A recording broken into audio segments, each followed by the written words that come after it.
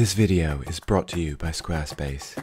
Hiya! Today we're welcome back to my channel, everyone, where we're always very serious. Today we're talking about the strengths of each of the 16 personalities. What are their biggest strengths? But I think maybe a better way of phrasing it is what is like the thing they do in autopilot, the thing that they just naturally flow into all the time without even realizing it. What is their life all about? Because your personality type does not indicate any inherent skill or ability. It's just talking about what do you feel really comfortable doing like all the time, maybe without even realizing you're doing it. But first, before we jump into this video, I gotta tell you about this video's sponsor, Squarespace, making the Frank James possible. Now, you guys have heard me talk about Squarespace before. It's an all-in-one online platform so you can build a beautiful, stunning website. Frank, why would I want a website, you might well ask? Well, maybe you have a blog or a small business, or you just want to create a special little place on the internet that's all your own, representing who you are. Squarespace is super intuitive to use. You just find a template you like, you pick it, you start customizing it, you can drag and drop elements around the page. You don't need a master master's in design in order to make this thing work for you and have a stunning website. They have video blocks so you can embed videos on your page. Squarespace also allows you to have multiple contributors so you can get your friends in on the action. And you can get a traffic overview so you can get important analytics about who's visiting your website, where are they coming from, stuff you want to know. So go to squarespace.com right now, get a free trial, and then when you're ready to step it up a notch, go to squarespace.com slash Frank James, get 10% off your first first purchase of a website or domain. All right, so now let's get on to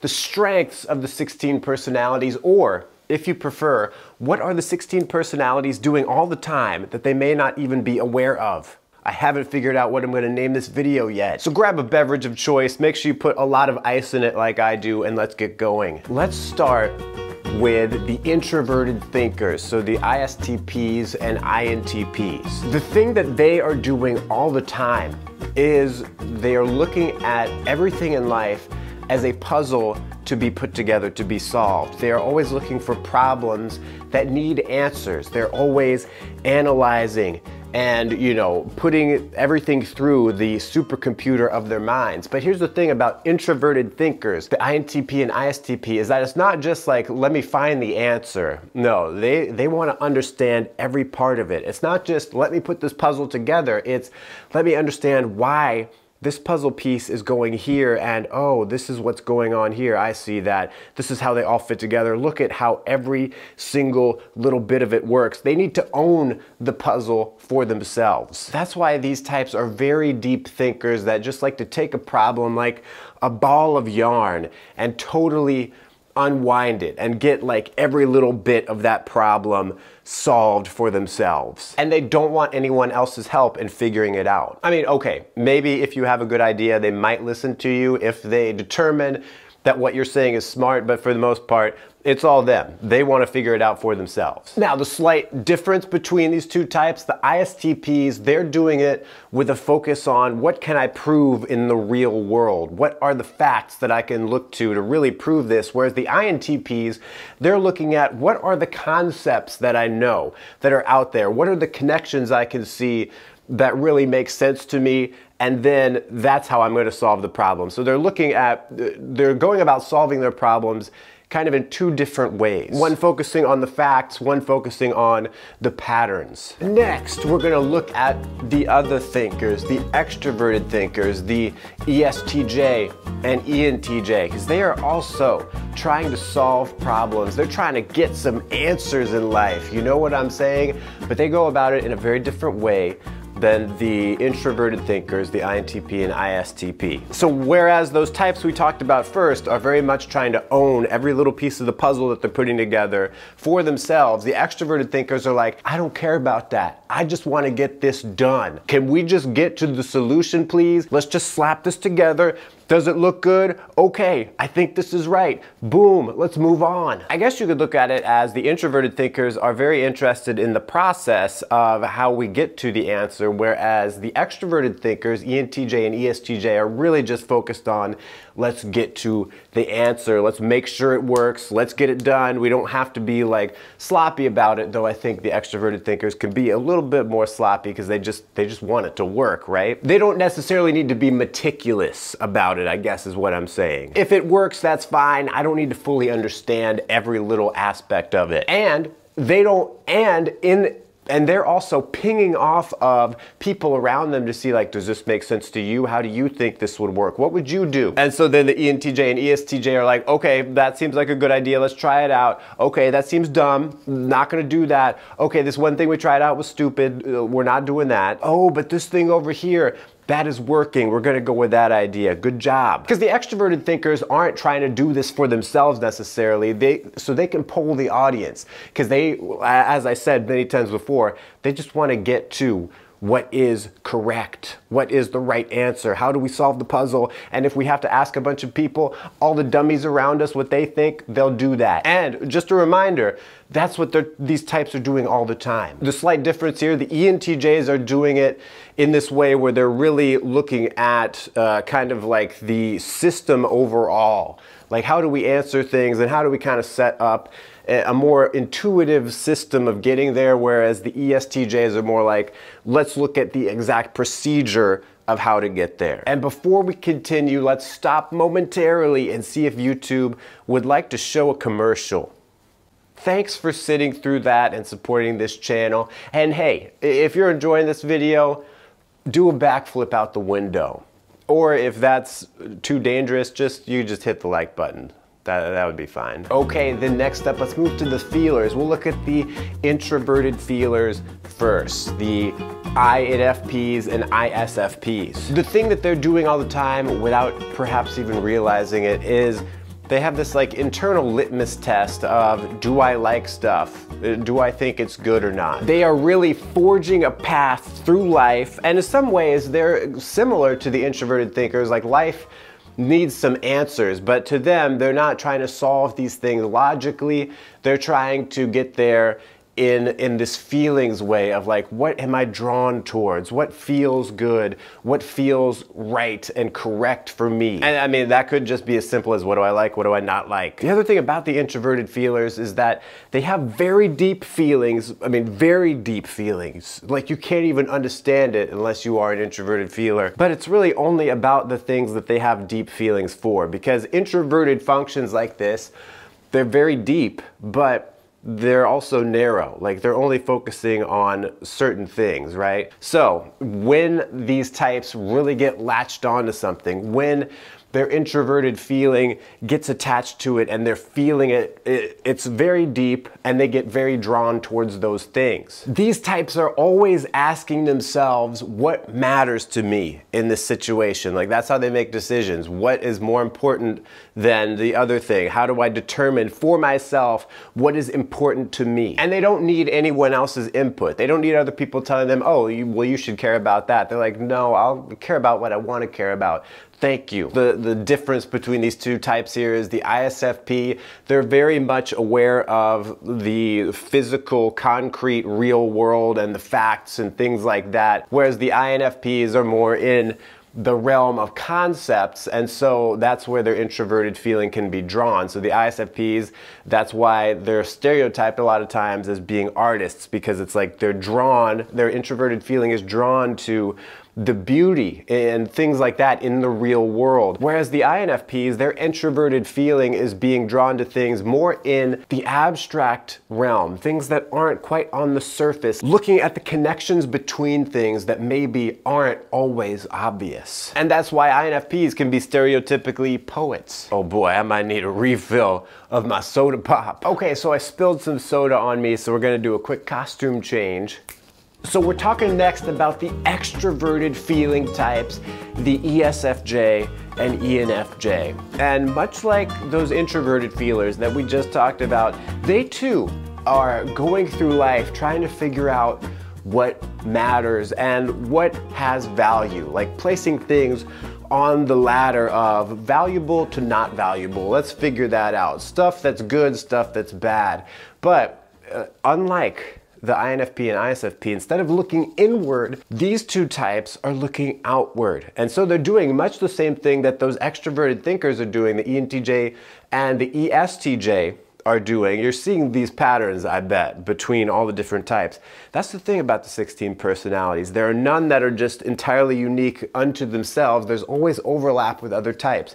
So these two types, the ESFJ and ENFJ, they are trying to figure out objectively in the outer world what is good, what is bad, what matters, what doesn't matter, what uh, people like, what people don't like, and they're asking people questions all the time to figure that out. If you go, if you go to my video, what I hate about the 16 personalities, you'll see that what I said about the EJs is they're always asking me questions. Can they please stop? It's annoying. And the reason they do it is because they're in this zone that they don't even realize, where they're just constantly trying to figure out the value of stuff. An ESFJ or ENFJ might ask me, what did you think about that soda pop you were drinking? Was it good? Was it bad? What was the brand? Let me know so that I can kind of log this away in my mind what you think of this and then I'll compare it with what other people think about this. And so generally that gets an objective view of if this soda is good or not. Because for these types, it is on them. They feel responsible to know that stuff, to understand how people feel about things. They're kind of doing this math, if this emotional math, if you will. If this many people feel this way about this thing, then that must be generally what everyone will feel about it at scale. And then of course the slight differences here are that the ENFJ is looking at things in that more intuitive way to kind of figure out the patterns of what people like and like how that all fits together. Whereas the ESFJs are really just looking at exactly what the things are and then how we can do those things in the sensory that people like. So that's why the ENFJ can be more of a stereotype of some kind of guru. You know, they're a bit more spiritually uh, oriented, whereas the ESFJ has kind of the stereotype as the person who's just like, hey, I'll take care of you, whatever. You come over to my house, I'll cook you a big meal. Next up, we go to the introverted sensors, the ISTJ and the ISFJ. The introverted sensors are all about the real world, the facts, the stuff that's actually, you know, happening in reality, but they are, they are very narrowed down in their vision of these things. The introverted sensor types are very much in the flow when they are able to organize things. So for an example, if you've ever been in a play before, there's something called a prop table backstage and you know, props, just you know, going to theater 101 here. If you walk on stage as an actor and you have a book in your hand or you have, you know, a gun or something, those are props, things that the actors use. And the prop table is where all of those props live. And on that table, it's taped out so that every prop goes in a specific place on the table and it's all labeled and stuff and it always has to go there. That is introverted sensing in a nutshell. But it's not just like physical things, it's also keeping the facts straight, keeping the numbers lined up in a way that is easy to look at and make sense of. I think really these two types are trying to just avoid disorder at all costs. And they both really take ownership of those things that they are organizing, whether it is like the physical items on the prop table, or if it is uh, those uh, data things in the spreadsheet. Data things. What? I think for these two types, it's all about can we just keep things straightforward? Can we get the most out of our stuff if we keep it organized, if we keep it all lined up, and if we have a procedure and don't have to deal with the chaos of new stuff. And then the differences between these two types. The ISFJs, you know, the stereotype there is that they are nurses, and that's because I mean, what do nurses do? They're taking care of people. They got that feeling aspect there. And to be in medicine, to be a nurse, you've got to like be very organized. You got to be on top of all of that procedure. You do this, you do this in the real world. The ISTJ is more logical. You know, they're uh, more stereotypically like in the accounting finance world where it's a bunch of numbers we're dealing with. It's like, how do we just make all this stuff work out? How do we make the balance sheet balance, etc. We're not worrying about how people feel. And before we continue, let's stop momentarily and see if YouTube would like to show a commercial. Next up, we go to the extroverted sensor, ESTP, ESFP, and these types are also focused on the real world like those last types we talked about. However, there is a difference. Rather than look at the concrete world in that very structured way as the last types, ESTP and ESFP just want to look at the world as it is, unfiltered. What's obvious?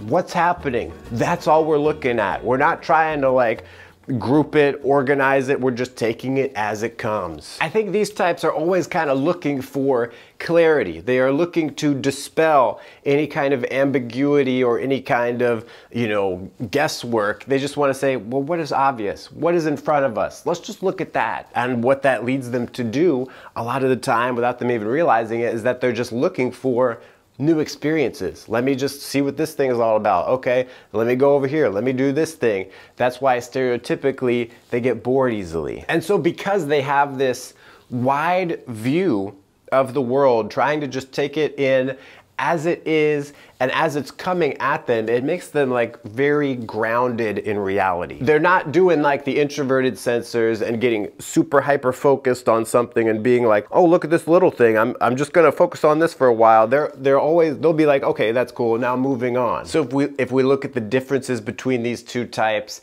the ESFPs, they are you know, looking at new experiences, looking at the world as it is, and then filter, filtered into what do they like, what do they feel is good. So that's why stereotypically they can be kind of like the happy-go-lucky person who's interested in stuff like fashion or interested in things like performing, singing, acting. The ESTPs, on the other hand, they're doing that whole thing in life, looking at looking at the world with their eyes open, just seeing it as it is, but it's going to how can we solve problems here? So the stereotype of the ESTP is like someone who's an entrepreneur, they're in sales, they're just out there hustling, they're grinding, they're moving on from thing to thing, trying to sell stuff to different people.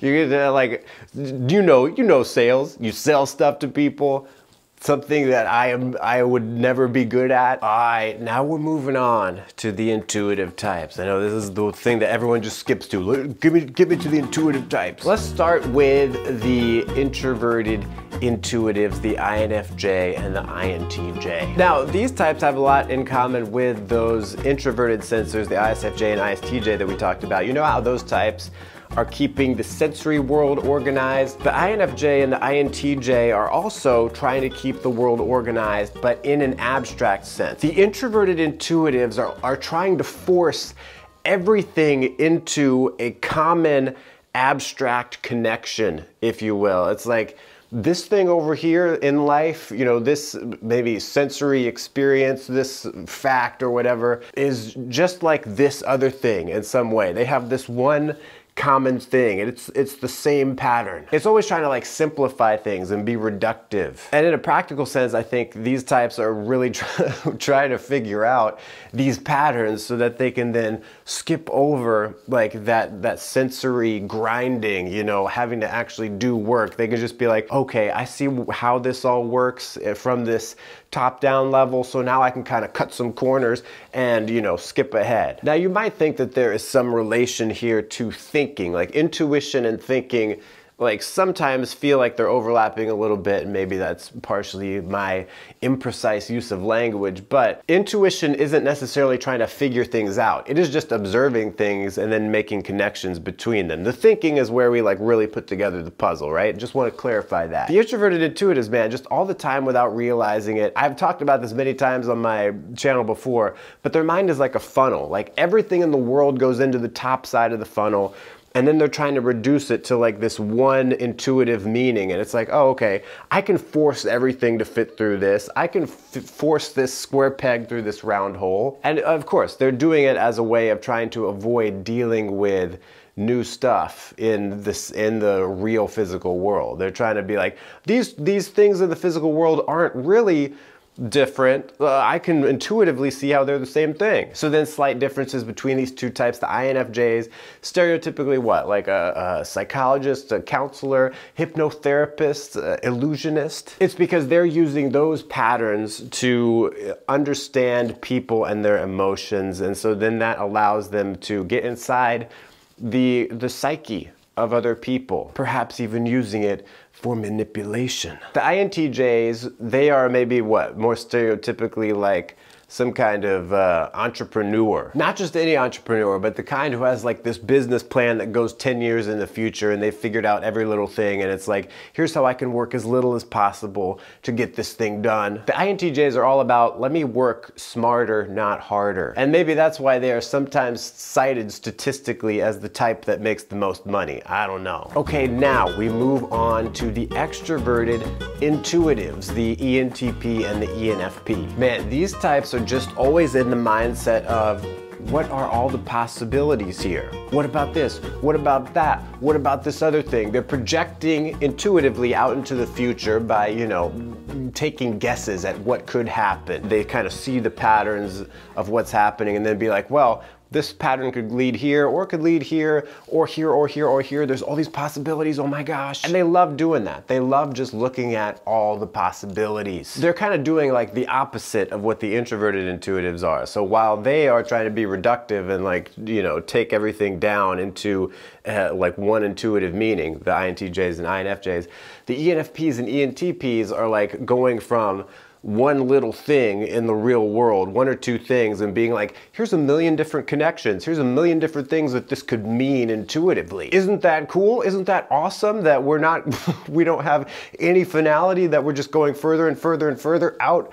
into the web of ideas? These types are just naturally always being creative and seeing new sides of things, things that other people didn't think of. Uh, so some differences between these two types, the ENFPs, they're doing all of this exploration, if you will, for the sake of what they like, what they think is cool, what they, what they think is good. That's what really is driving them. So ENFPs are stereotypically like the goofball, funny, cool guy who's got like this this kind of crazy imagination. The ENTPs on the other hand are doing all of that intuitive generating for the sake of like solving some problems, man, getting those puzzles fit together. And that's why their stereotype is like the debater because they'll be like, oh yeah, well you have that logical argument, but what about this other possibility? And I can argue that too. I can figure out how that could make sense.